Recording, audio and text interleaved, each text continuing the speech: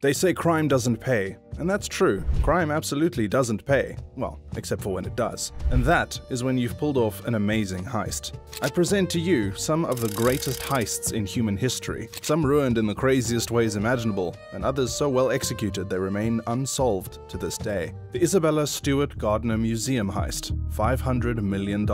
Art theft is hardly the most novel heist out there. Several important pieces of art have been pilfered from homes and museums all over the world, but an art heist worth $500 million? Now that's something worth talking about. On the night of March 18, 1990, two men posing as police officers forced their way into the museum and made off with over $500 million worth of some of the world's finest paintings and drawings. Eccentric art collector Isabella Stewart Gardner had so nobly opened her magnificent Boston home to the public to display her impressive art collection, and frankly, impressive is an understatement. Gardner's collection was made up of masterpieces such as Rembrandt's The Storm in the Sea of Galilee, Jan Vermeer's The Concert, and other similar timeless masterpieces. Her impressive art collection was assembled after a lifetime of travel and hard work, which only made the ensuing art heist all the more devastating. On the night of the burglary, the two security guards who worked at the museum, Rick Abath and Randy Hestand, were going about their business on a perfectly routine shift blissfully unaware that they were about to witness the largest private property theft in American history. At 1.20 am, one of the security guards allowed what looked like two police officers to enter the museum who claimed that they were investigating a noise complaint. Eleven minutes later, the two intruders had handcuffed and blindfolded both guards in the museum basement. At this point, it was obvious that these were not policemen. The burglars told them of their true intentions and warned them to stay quiet, and in true Robin Hood fashion, they even promised the security guards a reward in a year if they cooperated. With no one to interfere, the thieves went on a crime spree through the museum, stealing priceless paintings, sculptures, and drawings. They even grabbed a few worthless pieces of art. These thieves weren't exactly art snobs, they didn't discriminate. According to investigators, the burglars, in their haste to grab anything that looked expensive, actually overlooked some of the most priceless paintings and objects in the museum. That didn't stop them from becoming wanted criminals, though. In fact, the bounty on their heads was the largest ever offered by a private institution. Over the years, police have failed to find the men behind the art heist. They've investigated numerous international art thieves and local gangsters, all to no avail. No concrete evidence has ever surfaced. It would seem that these men just vanished into thin air. To this day, the stolen artworks have never been recovered, and the museum still offers a $10 million reward for any information leading to its recovery. And I know what you're thinking. Did the security guards ever get that reward they were promised? Who knows? They sure wouldn't tell you. Mafia's $6 million Lufthansa airline robbery. Next up, we have a heist that could probably never be replicated again today, not with our omnipresent surveillance systems, especially at the airports. But back in 1978, one of the biggest heists of the time was successfully pulled off, the Lufthansa robbery. Lufthansa is and was a German airline, and the plan was to rob it. This was perhaps the most valuable crime ever committed in the name of the American Mafia. The heist was largely orchestrated by a man named Louis Werner, an employee of the airline, a man who was saddled with an unfortunate gambling problem. Werner and his co-worker Peter Gruenwald had long been planning to steal millions in unmarked banknotes from one of Lufthansa's regular shipments of cash. Now, this is where it gets a little bit complicated. Werner told his bookie, Martin Krugman, about the heist. Why? Well, that's because he owed Martin $20,000, and he intended to repay that debt with the money he would make from said heist. Krugman, the bookie, then took the information to his acquaintance, and it ended up in the ear of a notorious gangster and feared associate of the Lucchese crime family, Jimmy the Gent Burke. Burke offered to organize the heist on behalf of his patrons in return for a sizable cut, of course. Basically, it was Burke's heist now, he handpicked a crew of associates, which included his own son, Frank. Together, they went off to the Lufthansa cargo terminal at John F. Kennedy International Airport in the early hours of December 11, 1978. It was a quick and easy job. In just over an hour, the crew took six employees hostage and stole nearly $6 million in untraceable cash and jewelry. That's about $23.4 million in today's money. The heist itself wasn't the problem. The aftermath, however, was a different question. It all came undone when their getaway driver, Edward Stacks Parnell, screwed up monumentally. Instead of taking the Ford Econoline van they used in the heist to a Marbone scrapyard in New Jersey, Parnell left it parked in front of his girlfriend's house in Brooklyn. This was a pretty grave oversight, no doubt, and it sent Jimmy the Gent Burke into a very ungentlemanly paranoid frenzy. He ordered the murders of all but five of the 13 heist participants to cover his tracks. Ironically enough, Jimmy Burke did eventually go to prison, but on charges completely unrelated to the Lufthansa heist. In the end, the only person to serve time for the heist was Louis Werner, who spent 15 years behind bars for the monumental crime of tipping Burke and his gang off. Only a small portion of the stolen money was ever recovered, and the fate of the rest of the fortune will probably never be known. The $100 million Belgian diamond heist.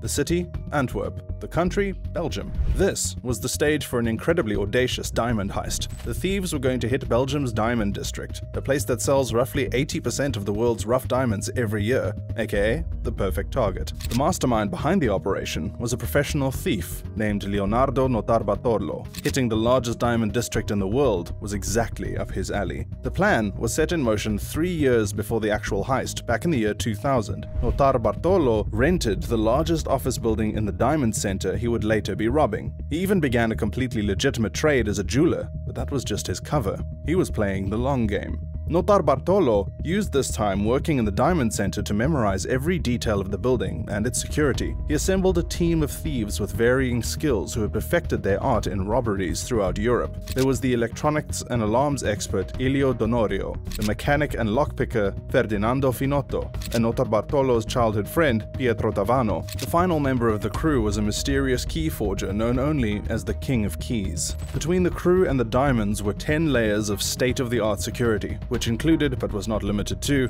multiple cameras that filmed inside and outside the vault, a vault door strong enough to withstand 12 hours of drilling, a light sensor that would trigger an alarm, and a heat and motion sensor that would also trigger an alarm. Yet, despite these odds, on the night of February 16, 2003, the gang penetrated all 10 layers of security using an assortment of basic materials you can find in your local mall, like hairspray, a broomstick, and electrical tape.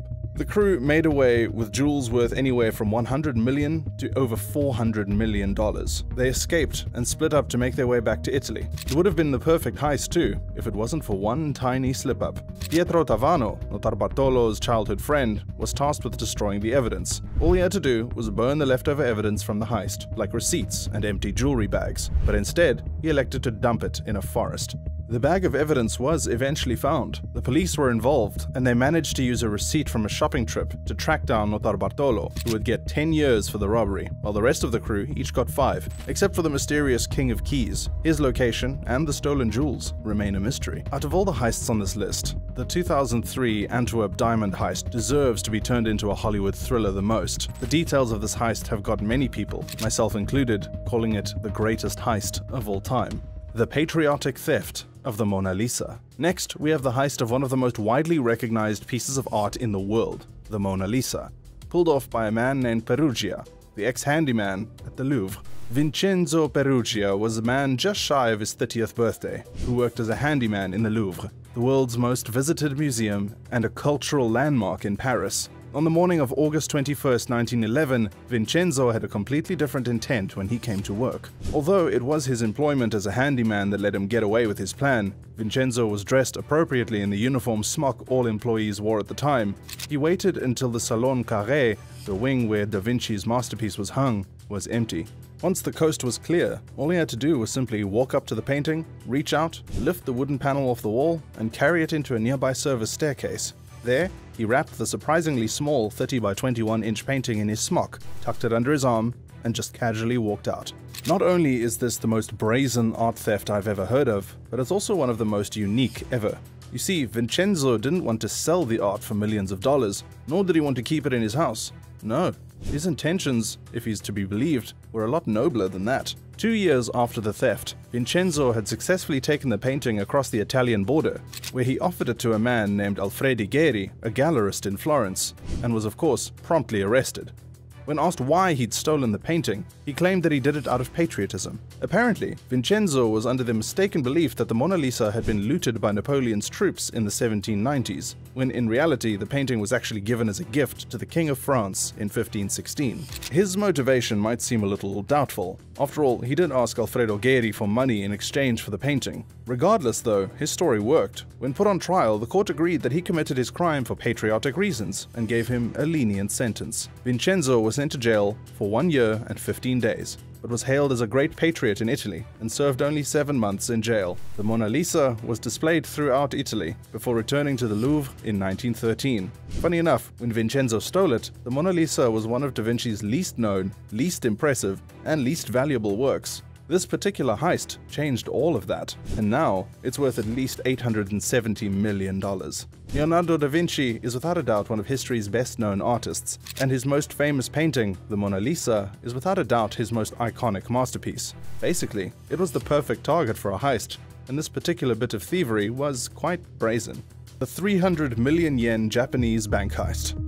To top it all off, I bring you the greatest bank heist in Japanese history. It involved a plan so simple and yet so intricate that the perpetrator was never found to this day. The year was 1968. It was the 10th of December and people were going on about their day. It was business as usual. Well, except for the fact that one of the most trusted banks in Japan, the Nihon Shintaku Ginko, was robbed of 300 million yen, worth about 3 million US dollars today, in the blink of an eye. Like any good heist, this one was planned meticulously meticulously and took a long time to implement. It started off when the manager of the bank and those around him started receiving numerous direct death threats over a few months. As time went on, they were getting more intense. Just four days before the actual heist, a letter was sent to the manager's personal residence demanding 300 million yen or his house would be blown up by dynamite. At this point, the police had to be notified. This was a very serious threat after all. Police surrounded both the manager's house and the bank, keeping a very close eye for any potential intruders. This was all part of the plan. The manager had to send four of his employees to the nearby Toshiba factory to make a scheduled drop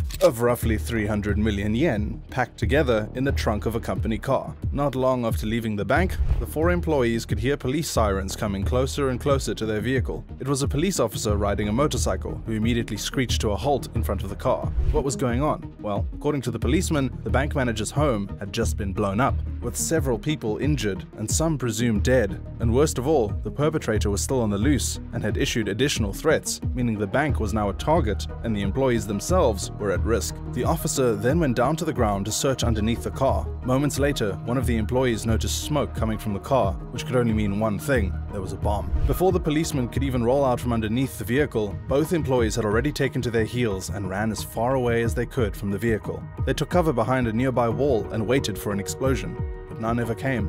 By the time they came out of cover, the car was gone along with the so-called policeman. It turns out it was all an incredibly well-planned heist. The bank manager and his house were never harmed. It was a signal flare used to mimic dynamite. There were about 120 pieces of evidence deliberately planted at the scene to throw off the police, and of course, that was no policeman that stopped the vehicle in the first place. The case still remains unsolved, with no suspects, and yet, and an investigation that led nowhere. So, what exactly happened? If you enjoyed this video, you should click on a video on the screen. It's crazy good, just like this one. You won't regret it.